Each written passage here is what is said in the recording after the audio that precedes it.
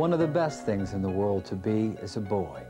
It requires no experience, but needs some practice to be a good one. When I first told my friends that I was going to boarding school, um, at my old day school, they're, they're like, what are you, crazy? And, and, uh, and like, what's wrong with this school? And that's not really what I wanted. I wanted a school that you're doing all different kinds of things throughout the whole day, not strictly academics, like the sports, the sports mainly. And here, it's, it's almost like a camp. It's, it's just great. It's different. Every day is different. The classroom experiences, I have to say, I mean, I usually, I didn't like going to school. But now the teachers make it so fun to the point where actually the teachers get so silly sometimes in class that it's, it's a pleasure. I can remember classes where teachers stand, stood up on desks and yelled and screamed and gotten the point across very well. And I can remember like the spring when people put, are playing their music out the windows and everyone's rollerblading and riding bikes around the campus. The dorm life is one of the biggest things that I like about Cardigan. It gives you a, like a family environment. Since the school's so small, 160 kids, you really get to know everybody. And um, with like the dogs and stuff, it's kind of neat. The dogs on campus and the little kids kind of add to it. It's nice to see that. A boy has two jobs. One, to be a boy. The other is growing up to be a man.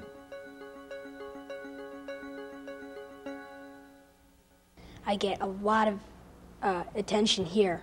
Uh, I don't know, I, at a public school you don't get much, in my opinion. But here, if you have a question, you, can ask just about anybody. And since you live in a dorm uh, with dorm parents and people there that are right there, you just have to knock on a door and you can get some help. All right, now you want to get in by itself, so how do you do that? How do you get rid of this 60? Well, they get individual attention from um, their tutor down here. Um, there's opportunities to meet during study halls with an individual teacher. There's a conference period that's set up where boys can get extra individual attention when they need help in a subject. I really feel that we're able to help them succeed in a lot of different areas that they may not be able to otherwise. The reason why I came to Cardigan was because I was not the greatest student, but I had great potential. And uh, once I got here, they, they helped me organize myself and get ready to study so that at, right now I'm doing very well. In our classrooms, we've got a, an average, I think, of seven to eight students for every teacher. Um, and, and in that kind of system and in the systems that we have in place for support here, the boy, uh, unless they really are determined to fail here, will, will succeed. Um, I came here at first just for the sports, um, the uh, hockey, but when I came here, I learned that uh, the academics are great here. And for any type of kid, any type of kid can come to Cardigan and succeed. Teach them to believe in themselves because it has to start from within. Once they have the confidence and then we provide the tools, they can do about anything they want. All we ask them to do is try. Boys at this age need three things. One, they need to know who's the boss. They need to know what the rules are. And three, they need to know that you're going to enforce the rules. And if you enforce the rules, you gain their trust and respect and love, I think. You know, the rules, I, was expecting to be like a real stiff school where there's tough rules to get along with. It's not that hard at all. You get used to them. You learn to live with the rules and what you can get away with. It's not that hard. All you have to do is follow the rules. And yeah. by following the rules, the rules are easier to follow. Experience is a hard teacher because she gives the test first, the lesson afterwards. I don't know, I mean, in the Christmas pageant, I had to sing a solo, and that was not exactly the easiest thing. I mean, um, the one of the reverends, the minister of music, Mr. Finkbeiner, kept telling, uh, I told my parents, you know, it's hard to convince him, and I said, you never convinced me. But I look back, and it's, uh, it's, it was actually, I'm glad I did it. I didn't think I'd like playing sports every day, but I mean, you get used to it, and it's great. It's fun. It's an experience. And from being from never touching a football before, I started on varsity this year. After this is this is my third year playing, but I mean, I really learned a lot, and I've learned to respect athletics as I do academics.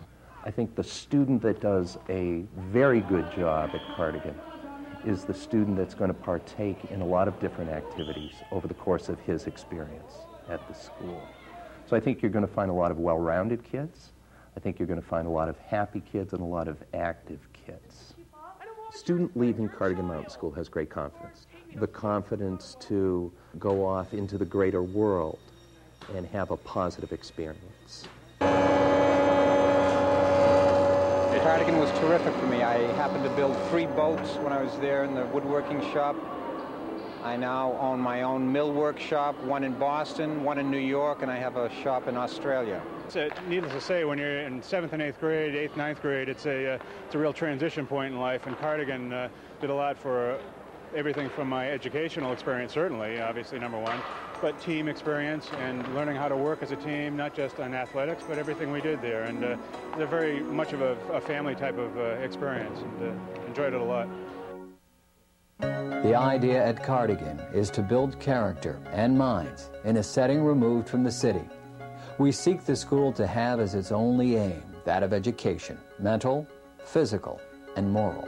I think our setting is very important. It's a rural setting.